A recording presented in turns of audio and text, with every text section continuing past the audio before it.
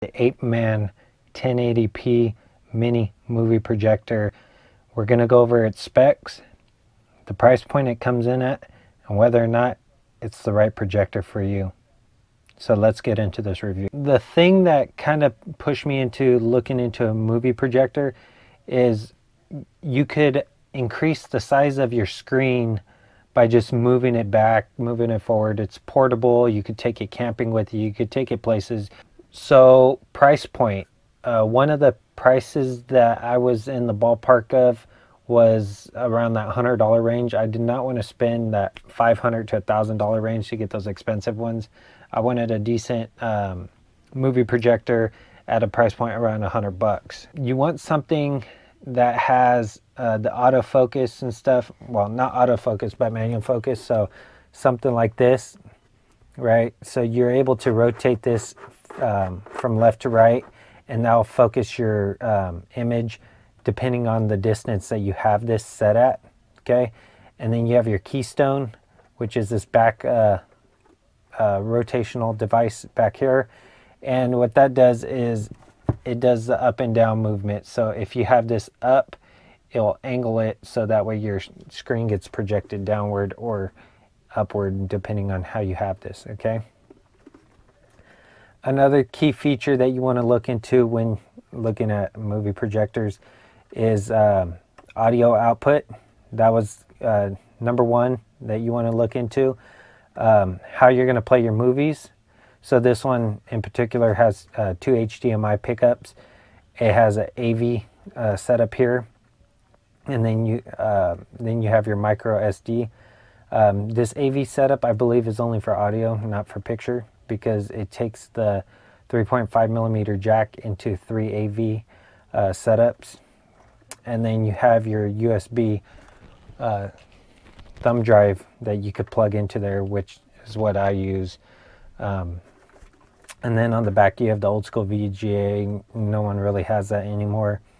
And then you have your menu button here. You have your um, like your skip through button uh, same thing here. These are your volume and your change. Uh, OK to accept, and then your power button and your back button there. You have your power setup, which is your typical power cord. Um, and then, of course, they give you a remote. So you get a remote like this. Okay. When purchasing one of these, that's what you want to look into uh, first off. I want to utilize it outdoors. That's the biggest thing. The issue with budget movie projectors is outdoor, uh, I guess, illumination, uh, the luxes that this puts out. I don't think it's true to what it says um, or how they funnel that light.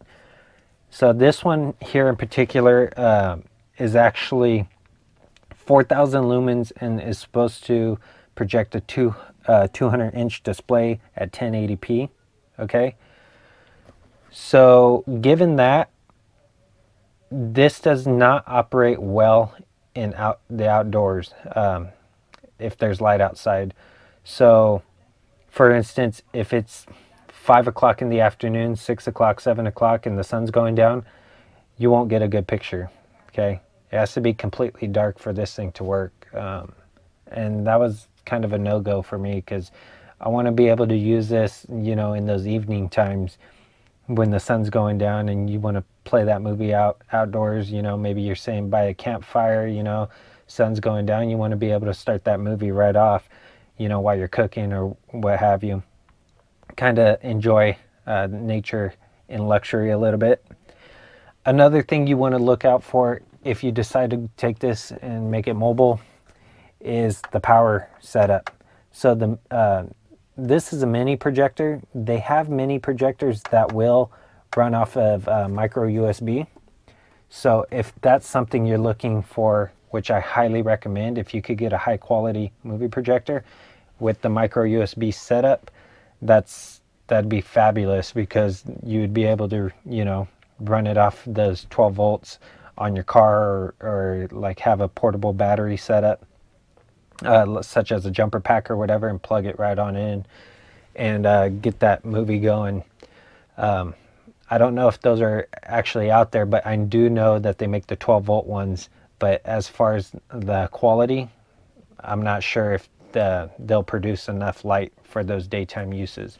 Okay, so when buying a projector, of course you're going to need a screen. You can't just project this on a wall unless it's white.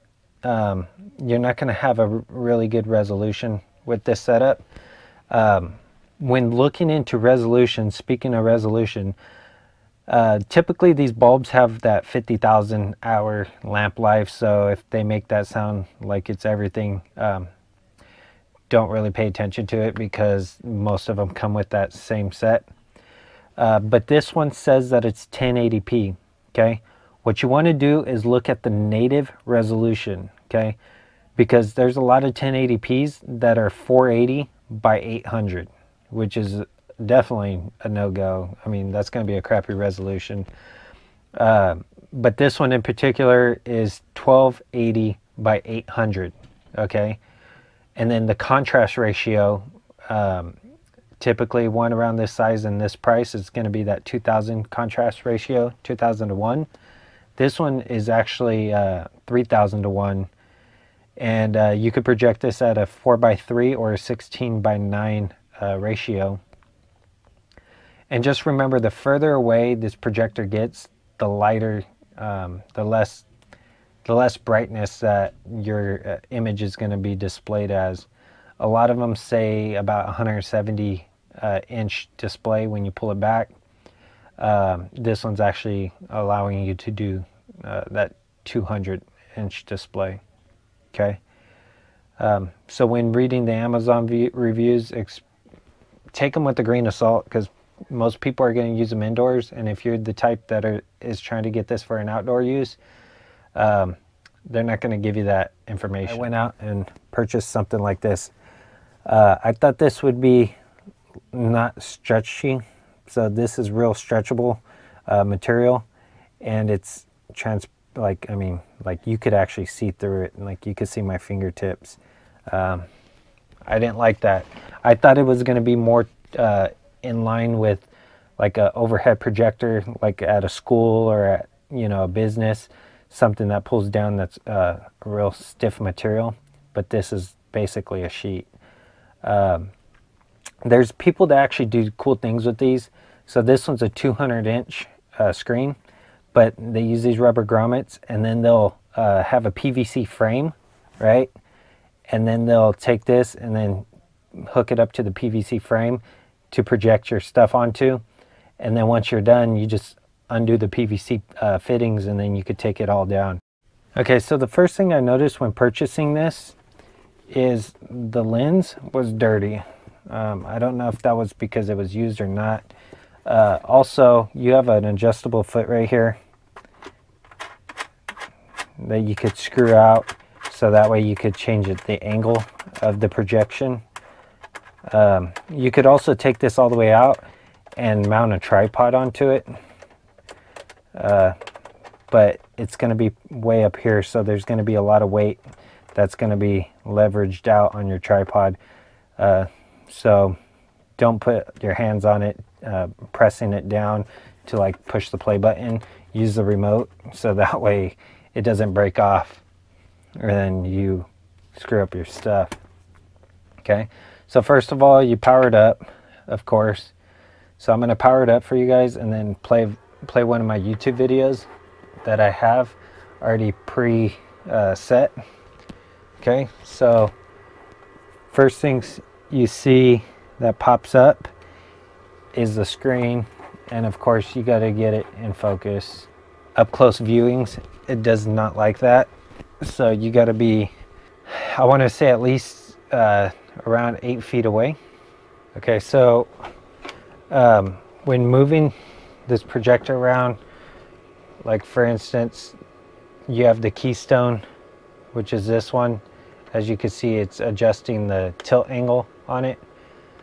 Um, and then you have your focus, which I'm all the way focused out. And then as you zoom in, um, or rotate this to actually pan to zoom it, it'll uh, fade out as far as the clarity. Uh, don't be alarmed if your stuff is blurry. Okay, so what I did was I you have, of course, your movie. It's kind of like the Apple uh, setup. It's kind of weird how they did that. Um, but you have all these different choices. Uh, I kind of already went through them and uh, made it to the best of my ability to kind of hone in on its clarity. So what we'll do is we'll just play uh, my YouTube video. One thing I have to say is when you're looking for a, a movie projector, make sure it has a decent audio because if you forget your audio source, you won't be able to play audio. So at least make sure that whatever you decide to buy has a good audio uh, setup. There is other um, movie projectors that are in this price range that have like 6,000 reviews and are amazing. Uh, as far as the review count, four and a half stars.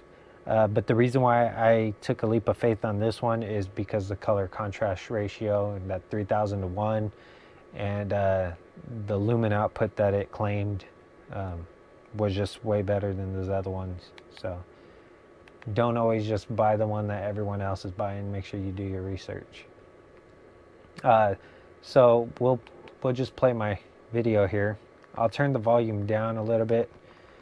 Um, what is up YouTube? So today what we're going over is the clam shelter. Its price that it comes in at. So th this volume right now is currently at a, at 10 and as you can see the clarity of the the screen is pretty decent. Um, I mean if it's in a dark room I definitely uh, would recommend you buying this, you know, because uh, you're not out a lot of money and you got something decent. Um, so let me turn up the volume. So this is at 20. This is at 30.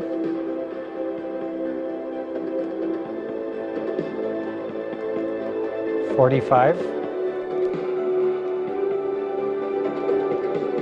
55.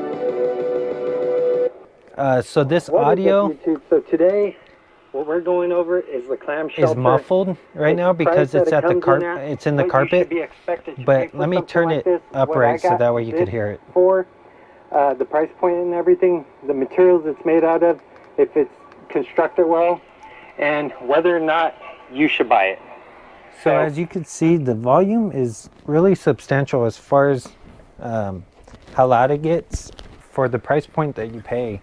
I mean, for this hundred dollar price range, the it comes with audio. A lot of the cheaper ones don't come with the audio option, so that's a plus. Uh, if you leave your speaker, don't have to worry about it. This is enough for a, a medium-sized room for you actually to hear, um, you know, the audio. It's not the best sounding audio, but I mean, hey, if you forget your speaker, at least you have a backup, right?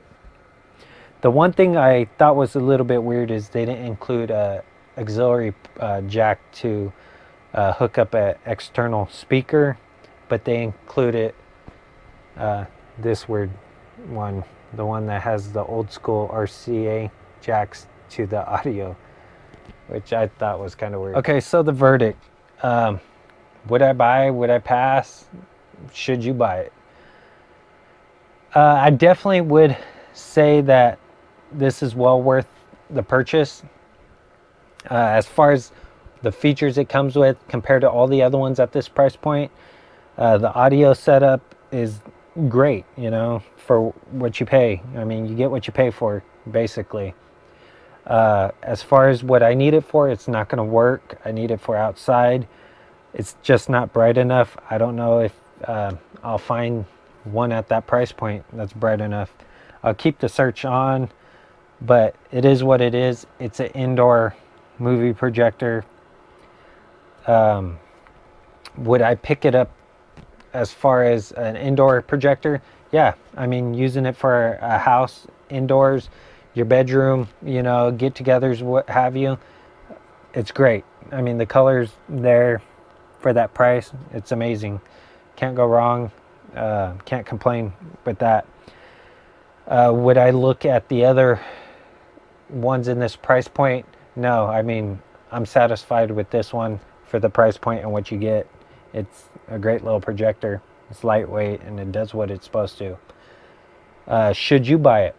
So if you're using it for the indoors only and you know like you have a, a like a party or whatever and you're going to project a movie, yeah, definitely. If you decide to go camping, um, yeah, you could pick this up and use it. The only issue is you cannot project it in the daytime or, you know, during sunset. It has to be in complete darkness and this will work out for you.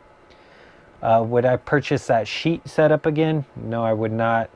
Um, I would, I like to uh, look for one that's actually a little bit thicker, like a canvas material or uh, it's some type of canvas um, stuff.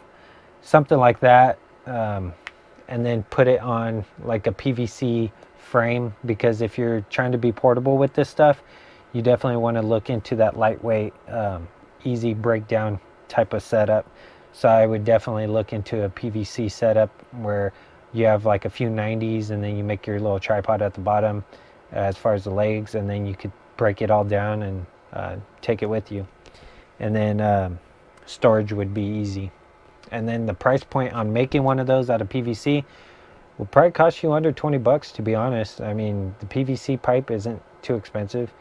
It's a couple bucks for a, a eight foot stick and then you have your fittings that are a few cents here and there depending on how um, cool you want to make it and how small you want it to break down will be determined by um, so that's going to complete today's video if you liked it, definitely give it a thumbs up. It's greatly appreciated. If you want to see content like this and other content I'll be posting in the future, definitely consider subscribing.